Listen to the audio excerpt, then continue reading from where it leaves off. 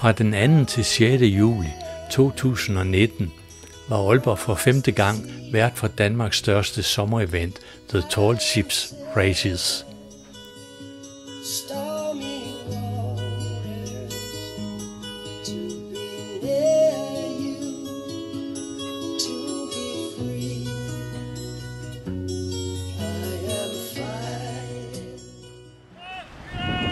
Aalborg Kanonlag åbnede The Tall Ships Races i Aalborg med kanonsalut.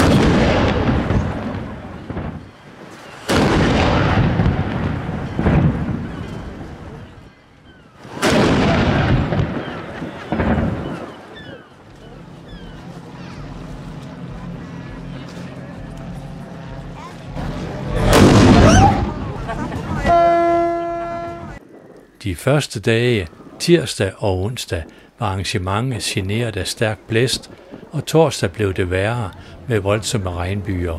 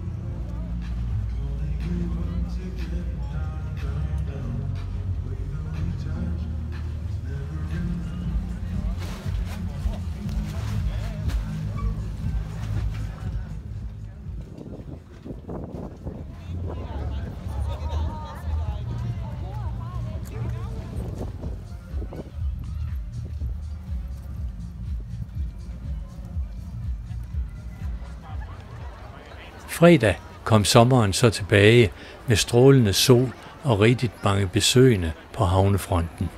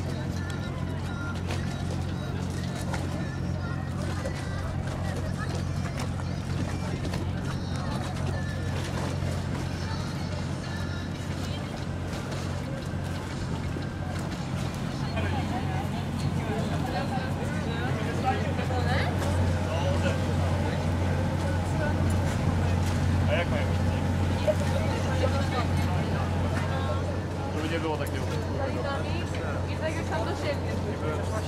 To nie, zaraz, jeszcze to wypadek. Przemek! Ja i tak nie będę teraz, teraz races, så er det jo fantastisk at se alle forskellige tilbud, som dukker op.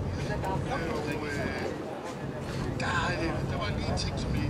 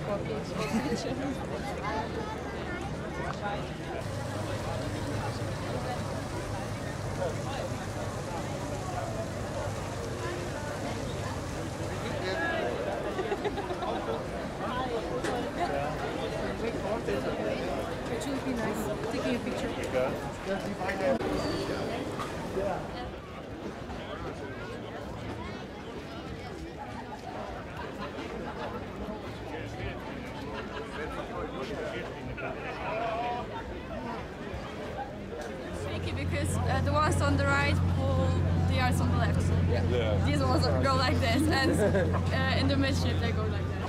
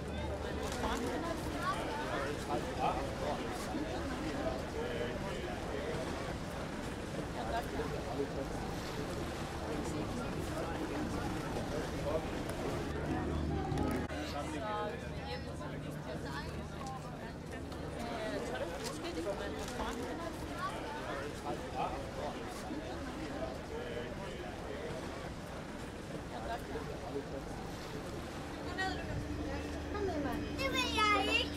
Bedste, du ikke tage et billede af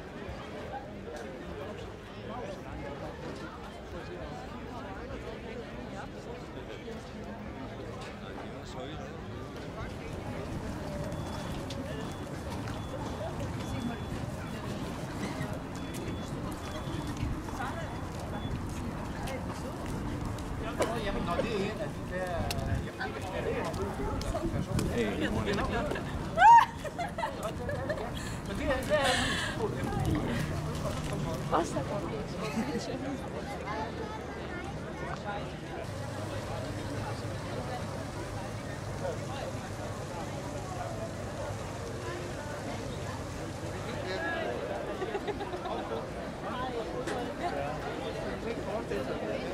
would be nice. Taking a picture.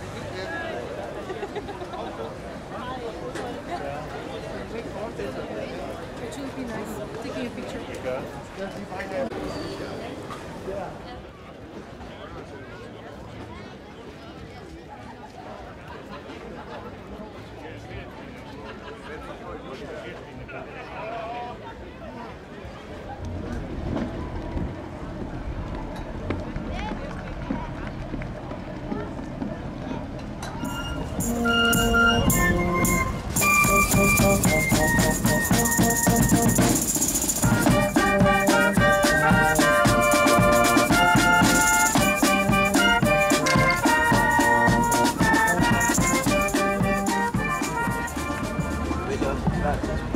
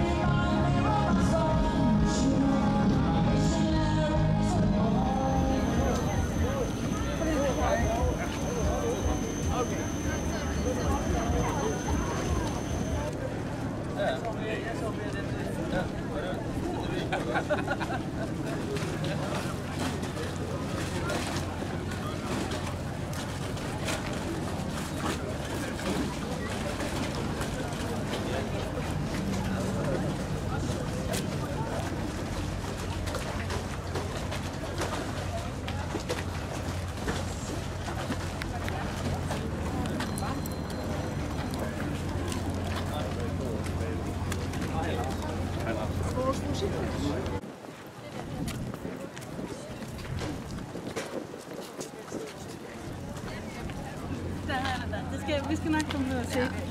Ja.